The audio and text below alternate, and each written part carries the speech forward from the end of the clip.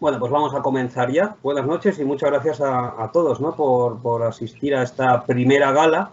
Vamos a llamarle la gala cero ¿no? a través de, Microsoft Teams, nuestra, nuestra gala eh, inaugural eh, a través del sistema de videoconferencias. Entonces, lo primero, para evitar cualquier tipo de interferencia, lo dicho, pedimos por favor que tengáis el micrófono cerrado de momento. Y también otra cosa, la videoconferencia se va a grabar. Se va a grabar y probablemente se difunda posteriormente a través de las redes sociales de, la Asociación Meteorológica Española. Entonces, toda aquella persona que no desee aparecer posteriormente, pues lo mejor es que apague su cámara. ¿no? Este aviso siempre, siempre lo daremos por si acaso.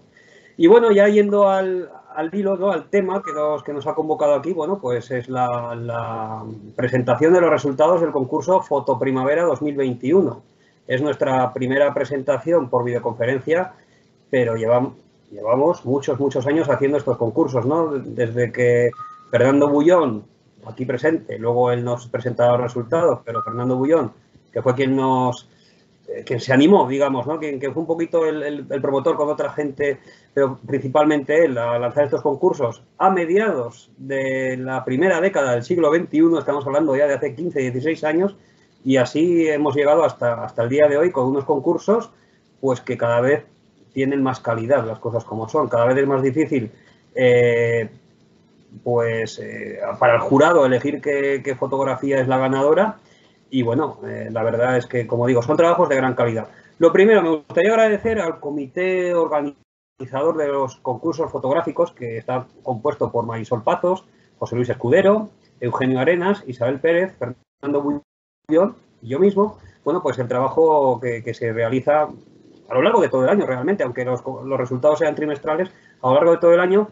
Y también para llegar a esta primera videoconferencia hay que agradecer, y le agradecemos profundamente, a Fernando Aguado, César Zancajo, eh, Javier Martínez y Amadeo Uriel, ¿no? son el soporte técnico de, la Asociación Meteorológica Española. Muchas gracias pues, por habernos eh, permitido y haber conseguido que tengamos esta primera presentación. Entonces, lo dicho. Y también, por supuesto, muchas gracias al jurado. Un jurado que está compuesto por alrededor de una veintena, una treintena de personas que desinteresadamente tienen la dificilísima tarea, porque realmente es muy complicado, de seleccionar cuáles son las fotografías ganadoras. Muchas gracias a todos y, por supuesto, el principal agradecimiento, no puede ser de otra manera, para los concursantes, para las personas que mes tras mes cogen su cámara, muchas veces su coche, hacen decenas o cientos de kilómetros para buscar la mejor fotografía de rayos, de cencellada, de nieve, de tolvaneras, de todos esos fenómenos, pues que al final lo que hacen es mostrarnos cómo ven, cómo ven la atmósfera con esa gran pasión ¿no? que, todos los aficionados demostráis ¿eh? a la hora de, capturar la, atmósfera y, sus manifestaciones más violentas. Pues bueno, para no enrollarme más, voy a ir al grano. Mm, vamos a ir ya a la presentación de los resultados de este Foto Primavera 2021. Hemos si no me equivoco, alrededor de un centenar de fotografías, más o menos, más o menos, y lo que va a hacer Fernando Bullón, ahora le doy paso ya, es mostrarnos, si no me equivoco también, eh, las 20, las que mejor resultado, las 20 primeras, vamos a decirlo así rápido, las que mejor 20 puntuación han obtenido. Vamos a ir de la 20 a la primera y bueno, pues nos vamos a, vamos a disfrutar, seguramente con esa colección de fotografías que Fernando Bullón nos ha preparado. Así que, sin más, pues Fernando, pasamos la conexión a la isla de La Palma, allí en el Atlántico, y, y muéstranos esas fotos. Hola, supongo que se me escucha. Se me escucha, ¿verdad? Vale, pues nada. Muchas gracias por la presentación, Rubén.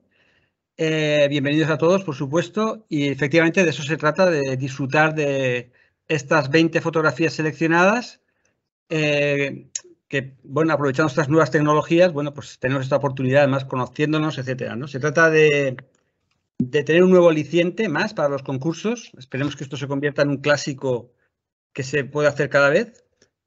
Y, nada, efectivamente, como ha dicho Rubén, desde 2005 empezó el primer meteoreportaje. Fue realmente pues una idea que surgió con la revista de la AME. Había que. La, revista de la AME en aquel momento se, se, se retomó y para la sesión de fotografía, pues, pues hacía falta conseguir material fotográfico y se pensó en hacerlo en forma de concurso. ¿no? Ahí surgió el Meteorreportaje 2005 y a partir de ahí, pues hasta llegar hasta aquí, los, demás concursos también es que ha ido habiendo. ¿no?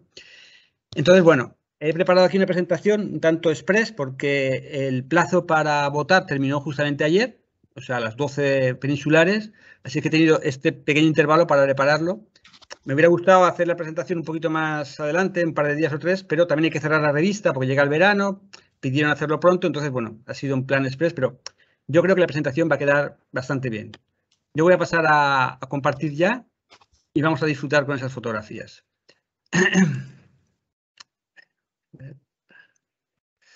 Aquí tenemos, supongo que se ve bien. Bueno, empezamos con lo que fue la, la portada, el cartel de concurso. Hemos cambiado ya aquí por gala de presentación de resultados.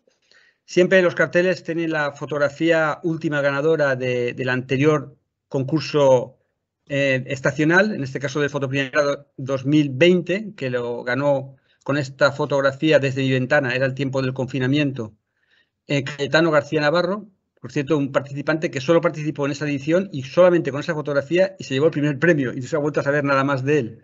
Bueno, ahí quedó esa impresionante tormenta llegando a la ciudad de Alicante que nos ha servido para el cartel de, este Fotoprimavera 2021. En cuanto a la presentación en sí ya, pues el índice va a ser el siguiente. Primero vamos a ver algunos datos de Fotoprimavera, una cosa bastante breve. Después lo que es en sí la presentación, los resultados del concurso. Vamos a ver las 20 primeras clasificadas por orden inverso de puntuación. Después veremos el cuadro de puntuaciones. Después comentaremos cuáles fotografías se han seleccionado para la revista Tiempo y Clima. Y finalmente, pues ya la convocatoria del Fotoverano 2021. Entonces, lo que vamos a hacer, bueno, primero el resumen del concurso. Comentar simplemente pues, que esta ha sido la vigésimo novena edición de los concursos trimestrales de la AME eh, y el octavo Foto Primavera. Es decir, estos concursos comenzaron en 2014 con un Foto Primavera, el Foto Primavera 2014, y ahora con este Foto Primavera pues se inicia el octavo año, el octavo ciclo de concursos.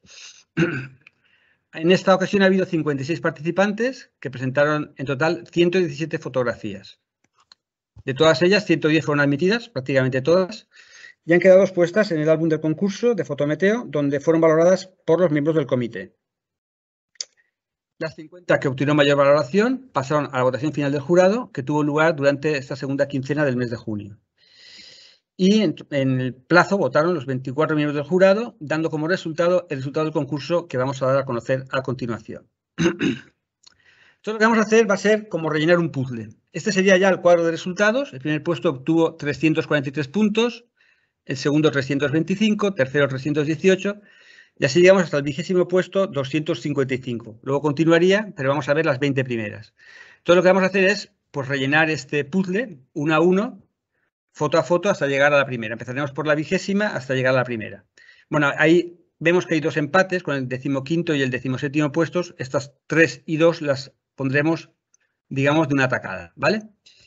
Entonces ya, sin más dilación, vamos a, a empezar con ese, bueno, ponemos ya aquí el cuadrito entero con ese vigésimo puesto, la primera foto de esta primera gala, la gala cero, como ha dicho Rubén, de los concursos trimestrales de la AME. Y empezamos y lo hacemos en Cataluña, como casi no podía ser de otra manera porque es lo que suele ocurrir, con esta fotografía. Amanecer vestido de blanco de una concursante habitual, Carmen Molís Vidal, que además está, creo, aquí en el, en el evento. Vigésimo puesto, 259 puntos, con este impresionante amanecer, eh, con el Monseña allá al fondo, el sol saliendo por el Mediterráneo y ese mar de nubes y ese aspecto nevado impresionante. ¿no? El comentario que puso Carme en el, en el fotometeo fue el siguiente, dice, nevada de primavera, última de la temporada en nuestra zona, poco habitual de ver. Un gozo levantarte y ver este magnífico paisaje Además parece prolongarse en el impresionante mar de nieblas, sobresaliendo el pico del Monseigne, también emblanquecido, realmente una postal. Pues sí, una postal que merece desde luego el primer aplauso de la noche. Lástima que no estamos en una sala, quisiéramos aplaudir todos, pero bueno, ahí, la vemos todos y la aplaudimos interiormente. Tenemos pues ya la primera foto de nuestro puzzle y ahora vamos a ir con las tres siguientes, dado el empate que ha habido con ese decimoséptimo puesto, 262 puntos. Empezamos con, nos vamos hacia el sur, nos vamos hacia Andalucía, a tierras de Málaga, con esta fotografía de Adrián Valencia Castillo, otro habitual de los concursos, también de meteorreportaje, con esa imagen de esta montaña desde Archidona, eh, y que llamó El indio y sus rayos. Me imagino que el indio se refiere a, la montaña, que nunca defraudan. Desde luego, en este caso, no defraudaron en absoluto. Su comentario, al final de la tarde del 16 de abril, se formó una línea de turbonada que batió la parte central de Andalucía de norte a sur, desde la capital cordobesa hasta el litoral malagueño. Aquí vemos uno de los múltiples rayos que dejó la tormenta en su parte trasera. Un segundito solo que tengo aquí un pequeño problema y seguimos.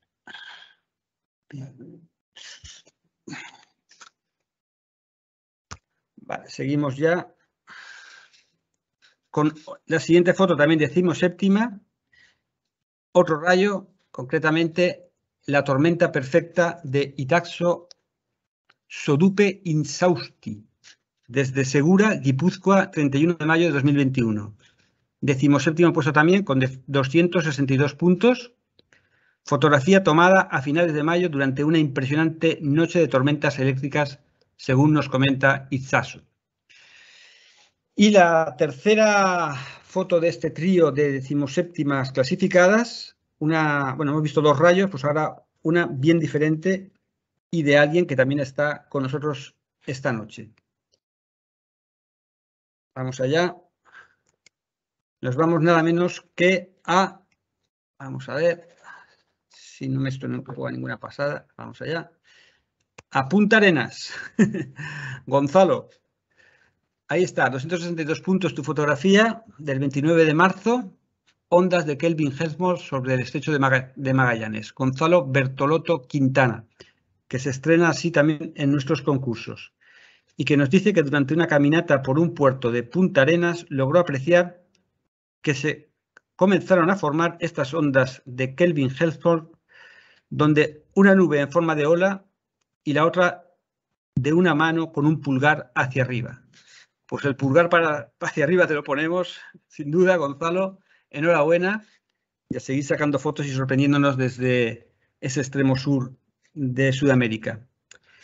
Tenemos pues ya cuatro fotos en nuestro puzzle, la de Carme, allá a la derecha, dos de Rayos, desde Archidona y desde Guipúzcoa, y desde Punta Arenas, las Fluctus de Gonzalo. Y nos pasamos ya al decimoquinto puesto, donde encontramos otro empate. Tenemos ya 266 puntos y nos vamos de vuelta a tierras catalanas.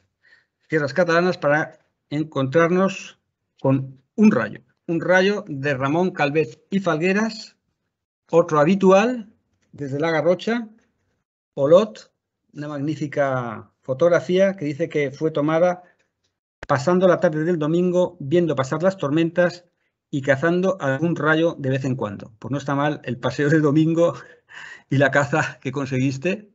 Magnífico además cómo capta el paisaje también de, de, La Garrocha, un lugar para visitar sin duda. Yo he tenido la suerte de ir varias veces y es de lo mejorcito que hay en la península ibérica, sin ninguna duda. Bueno, pues la foto lo dice todo, yo creo. Y la siguiente también desde muy cerquita, desde Cataluña también, de alguien que también está aquí esta noche y que ni más ni menos que se subió a un globo para tomarla. Aquí está. Arco de niebla con sombra proyectada de Emili Vilamala Benito. También 266 puntos desde Vic el 28 de marzo de 2021.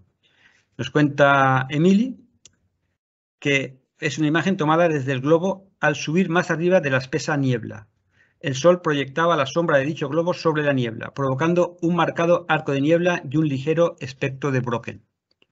La sombra del globo proyectada en la parte superior de la imagen sin niebla es un fenómeno que no había visto en directo. En la plana de Vic es habitual la niebla, es conocida por el nombre de la pubilla de la plana. Desde luego, una imagen impactante, muy diferente a lo que estamos acostumbrados de ver. Y que, por cierto, no es la primera vez que Mili nos sorprende desde un globo, porque aquí lo he puesto un chiquitito, ya en foto primavera, precisamente en el año 2016, también nos sacó esta fotografía que además se llevó el primer premio en aquella ocasión. Enhorabuena para Mili, siempre también ahí en esos primeros puestos. Tenemos ya pues eh, seis fotografías, ya tenemos tres desde Cataluña, tenemos también mucha variedad, rayos, espectro de Brocken, eh, las fluctus, las nieblas, etcétera, etcétera. Y nos vamos ya a por el decimocatorce puesto, que también va a ser muy diferente y que también es de alguien que está por aquí esta noche. Vamos allá. Nos vamos un poquito hacia el sur, cerca del Mediterráneo, otro amanecer, desde Denia, Alicante. Deformación solar, de Andrés Fornés Yodrá. Decimocuarto puesto, 269 puntos, el día 11 de marzo de 2021. Nos dice Andrés que la capa de niebla pegada al mar creaba esta deformación en el Sol al salir. Podríamos hablar de dos salidas de Sol. La primera con la tonalidad rojiza filtrada y estrechada por la capa de neblina y la segunda una vez remonta ese obstáculo y empieza a brillar con fuerza. Sí, desde luego mejor explicado, imposible. Se nota como la parte de arriba parece que es un segundo amanecer completamente. Y también como anécdota, en este caso, una foto bastante parecida de Andrés, también en un foto primavera, quedó en aquel caso tercer puesto, en este caso con una Fata Morgana, que además yo creo que es de las poquitas que he visto yo en mi vida y quizás la única que tenemos en todo Fotometeo, me parece a mí. bueno, muy aconsejable de, ver esa, imagen también. Enhorabuena Andrés y la foto tuya para el puzzle y nos quedan 13 fotos. Vamos a la décimo tercera. Volvemos otra vez a Cataluña. Volvemos otra vez con Emily para encontrarnos con este amanecer también impresionante. Una foto que recuerda un poquito a la de Carmen, pero diferente, muy colorida, con ese candilazo tremendo y tomada desde GURB, Barcelona, el 12 de mayo, 273 puntos. Un fantástico amanecer en el que busqué un campo de colza como primer plano de primavera, en segundo plano la niebla cubría el valle del río Ter y detrás de la niebla las montañas del Cabra y al fondo el espectacular Candilazo. Bueno, desde luego Mili siempre sacando el mayor partido a todo lo que pilla por ahí. Bueno, seguimos. Duodécimo puesto. Dejamos Cataluña, nos vamos otra vez para el sur. Para una persona que acaba de prácticamente estrenarse con los concursos, lo hizo con el Meteo Reportaje y con muy buen resultado. Y aquí está ya con este duodécimo puesto, con esta fotografía, Rayo a la Cenicienta, Nani Lavado Fernández. También está por aquí esta noche, le podemos dar la enhorabuena. 276 puntos desde su ciudad, Málaga, el 15 de abril de 2021. Su comentario muy breve, simplemente dice, a las 00 todo cambió. Bueno, pues si cambió para esto, muy bien cambiado está. Enhorabuena, Nani. Y continuamos, ya tenemos ahí cuatro fotos de rayos. Nos vamos al undécimo puesto, 280 puntos, y nos vamos al otro lado de la península, desde Málaga hasta Pontevedra. Cayendo del cielo, de Julián Daniel Martínez Cores. Otro habitual también, desde Cambados, 24 de marzo de 2021, 280 puntos. Un enorme halo circular con dos parellos en su correspondiente círculo parélico. Se encara hacia el horizonte y empequeñece a la antigua torre en ruinas. Tanto la empequeñece que casi es que uno tiene que buscarla. Captura realizada durante la tarde en las inmediaciones del islote de San Sadurniño, Cambados, Pontevedra. Pues fantástica la imagen, desde luego. Eh, enhorabuena, Julián, y a seguir así. Y ya hemos completado la mitad del puzzle. Las fotos de la vigésima a la undécima. Y entramos ya en el top 10 de este foto primavera, con el décimo puesto, 283 puntos y nos vamos al centro, al centro de la península, de la mano de, como no, don Alberto Lunas. Este cumulonimbus, cumulonimbus iluminado desde Alcobendas, Madrid, el día 26 de abril de 2021. 283 puntos, un potente cumulonimbo ya maduro, creció en solitario durante las últimas horas de la tarde hacia el sureste de la Comunidad de Madrid, siendo iluminado en todo su esplendor por el sol. Pues sí, desde luego que era bastante esplendoroso y muy bien que lo captaste, Alberto. No sé si finalmente has entrado, pero maravillosa la imagen, desde luego. Eh, llegamos ya al noveno. Noveno puesto, 287 puntos. Y nos vamos Vamos a seguir por el centro de la península, un poquito más al sur. Nos vamos hacia Cáceres de la mano de alguien que, si no me equivoco, también se, bueno, también no, en este caso, se estrena en el concurso. Tenemos aquí este En el corazón de Monfragüe, de Julián Vaquero Gutiérrez. Noveno puesto, 287 puntos. Desde el Parque Nacional de Monfragüe, el 10 de mayo de 2021. Un segundito otra vez.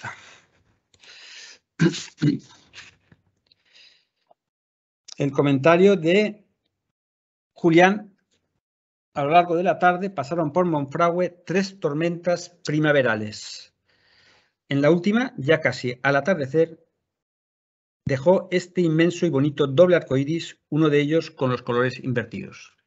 Sí, como siempre, el, segundo con los colores invertidos. La verdad es que mm, tremenda la, claridad con la que se ve. Muy, muy bonita la imagen, aparte el entorno también. Y así ha quedado novena esta fotografía. Fotografía que va al puzzle y ya vamos a por la siguiente, la octava clasificada, 290 puntos y nos venimos, nos venimos hacia donde estoy yo, muy cerquita, las Canarias. Muy cerquita de donde estoy yo, quiero decir. No la isla donde estoy yo, pero la del lado. De una persona del norte de España que siempre nos sorprende también con sus fotografías, pero que ahora está desplazado aquí, por suerte para, para fotografía canaria. Aquí tenemos Ocaso frente al Teide de Imanol Zuaznavar García. Otro habitual, mm, clásico, ganador dos veces del metro reportaje y que eh, saca esta impresionante fotografía en la que nos dice que todos los días los atardeceres son espectaculares frente al Teide, pero en ocasiones nos dejan sin palabras. Desde luego la, imagen de del Teide siempre es espectacular, que por cierto, creo que por ahí se ve, al fondo allá a la derecha se ve un poquito la isla de La Palma también. Enhorabuena, Imanol. Octavo puesto y vámonos ya con la séptima. 294. Llevamos mucho tiempo sin pisar Cataluña y eso no puede ser. En estos concursos siempre Cataluña está ahí. Y nos vamos otra vez hacia la Garrocha. Nos vamos otra vez con Ramón, Ramón Calvet. Perdón que me he pasado. Aquí está, nubes fantasmas al atardecer desde el volcán de Agua Negra, La Garrocha, el 21 de marzo de 2021, 294 puntos. No dejo ningún comentario en Fotometeo, pero bueno, pues eso, sin comentarios. La, la, foto lo dice todo y ahí están esas nubes siempre tan enigmáticas, tan sorprendentes, tan difíciles de entender, generadas por el relieve, como bien captó ahí eh, el amigo Ramón. Continuamos, seguimos por allí por Cataluña, muy cerquita, un poquito más al sur. Otra vez, Emily nos va a sorprender, esta vez con un doble halo solar con parelio. 297 puntos, sexto puesto, desde Maya, Barcelona, 27 de abril, con el sol bajo del atardecer, del amanecer, perdón, se observaba un halo solar con parelio. No era muy vistoso, pero había otro halo exterior mucho más grande. El camino carretero, rodeado de campos primaverales, parecía que nos llevaba al halo. Nunca había visto en directo un halo solar doble. Pues yo la verdad es que creo que tampoco he visto nunca ninguno. Y, efectivamente, muy bonito el, camino justamente encuadrado hacia, hacia el halo. ¿no? Tremendo, con el parelio también pues, de Mili, que vamos a decir, siempre, siempre fotos maravillosas. y llegamos ya, completado ya 15 fotos del puzzle, nos quedan 5 solo, el top 5, el quinto puesto, esto ya son palabras mayores. Y seguimos, seguimos en Cataluña con alguien que está aquí, con alguien que ya ha salido alguna foto de ella, con la vecina de Mili, con Carme, Molís Vidal y con estos Cumulus y Mammatus, 301 puntos desde Manlleu, Barcelona. Y nos dice, un domingo al mediodía, en la hora de la comida, mirando por la ventana, vi este maravilloso cielo, no lo podía dejar de inmortalizar. Pues muy bien que lo inmortalizaste, que lo presentaste al concurso y que mira hasta dónde ha llegado y lo hemos disfrutado todos. Muchísimas gracias, Carmen. doblemente en, el, en, la gala de esta noche, como lo ha estado Mili, que lo ha estado creo que ya las tres fotos suyas hemos visto. Así que a seguir así, Carmen, que nos haces disfrutar en cada concurso. Tu foto para el puzzle, que ya la cantidad de, la variedad que tenemos ya de fenómenos, desde magmatus, cumulonimbus, rayos, halos, espectros, el efecto solar en el sol, en fin, mar de nubes. Vamos a ver qué más nos aparece por aquí. Por ejemplo, no veo así claramente un Arcus. Había un Arcus por ahí muy guapo. Desde Madrid, Alberto, Alberto Lunas Arias, Cumulonimbus Arcus. Desde Fuentidueña de Tajo, el día 23 de mayo, cuarto puesto, 304 puntos instantes antes de que un potente cumulonimbo Arcus nos sobrepasase por las llanuras del extremo sureste de la Comunidad de Madrid, junto a la localidad de Fuentidueña de Tajo, nos ofrecía este imponente aspecto. Pues sí, lo que tenía que ser estar ahí, ver venir eso encima, desde luego, me gustaría a mí. Alberto, enhorabuena una vez más, también ha ganado alguna vez el concurso, sobre todo en verano, con sus rayos impresionantes desde Madrid. Eh, también en el, reportaje un habitual.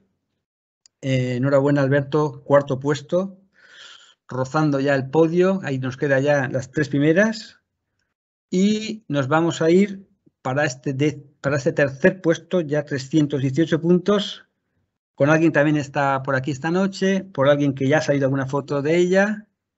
Nos vamos a Málaga, nos vamos otra vez con Nani Lavado Fernández a disfrutar de estos gemelos desde Málaga el 8 de mayo del 21.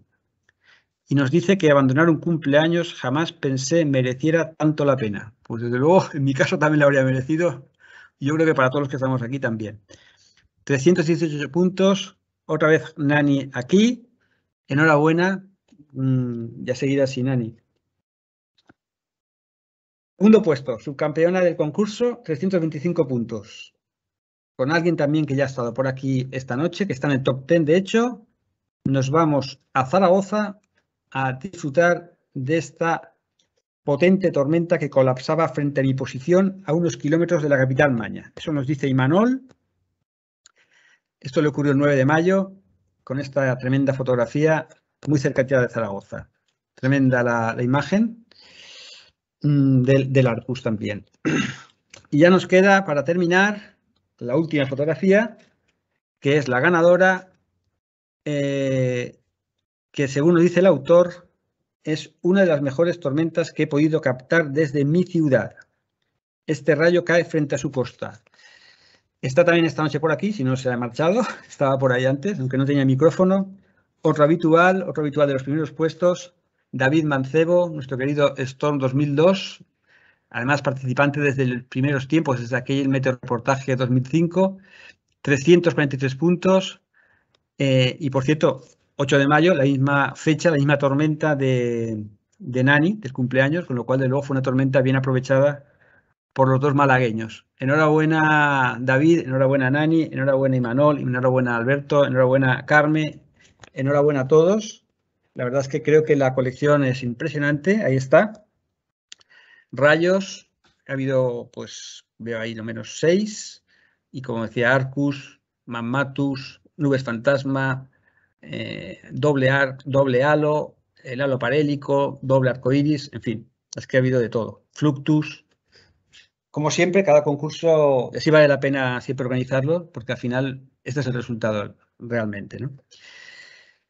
Bueno, y esto ya pues ha sido todo. Aquí sería el cuadro de puntuaciones. Eh, que luego ya se publicará, con esos 343 puntos de Transmediterránea de David, los 325 de la supercélula de Imanol y los 318 de gemelos, y así hasta llegar a la, a la vigésima y hasta la 50, que aquí no aparecen todas.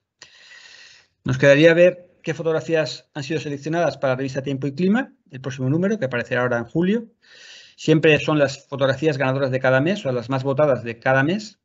En este caso serían las fotos de la primavera, Luego además ha seleccionado una fotografía del concurso para la contraportada y la fotografía que acompañará también un resumen que siempre se pone del concurso en esas páginas. Vamos a ver cuál ha sido cada una, empezando por la fotografía ganadora del mes de marzo. Aquí la tenemos, eh, Nubes Fantasma al atardecer de Ramón Calvet, fue la séptima clasificada, pero como las otras seis, ninguna era del mes de marzo, esta fue la, ganadora del marzo y por lo tanto la fotografía del mes de marzo para la revista.